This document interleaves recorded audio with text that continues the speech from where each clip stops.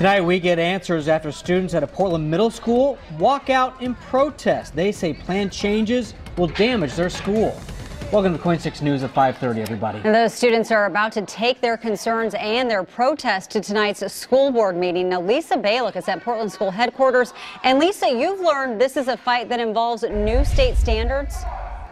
Exactly. These are students and parents from Da Vinci Middle School in Northeast Portland. And they say they don't want more time for math to improve standards in math and their test scores at the expense of getting rid of or cutting back other classes.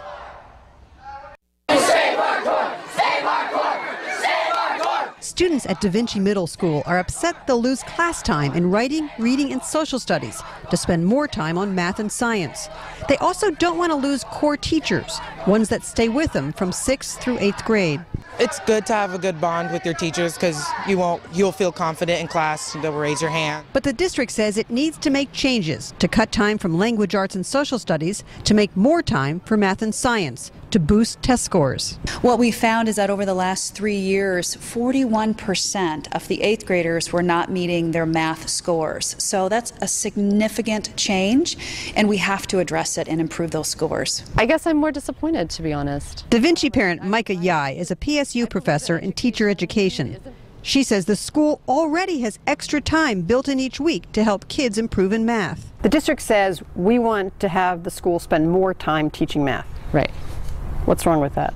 Uh, it's just as long as it's thoughtfully done. There's already a time period at the school where they do use to serve kids math who need extra help, but they haven't done it consistently and they haven't tracked growth. What do we want? When do we want it? Now! The school district says Da Vinci students will still have their arts electives, but math test scores need to be higher but not everybody believes test scores prove knowledge. Test scores um, are one measurement, but if you look at a school like Da Vinci that learns creativity, problem solving, critical thinking through other ways, maybe the test is a little too standardized to really show what they do know.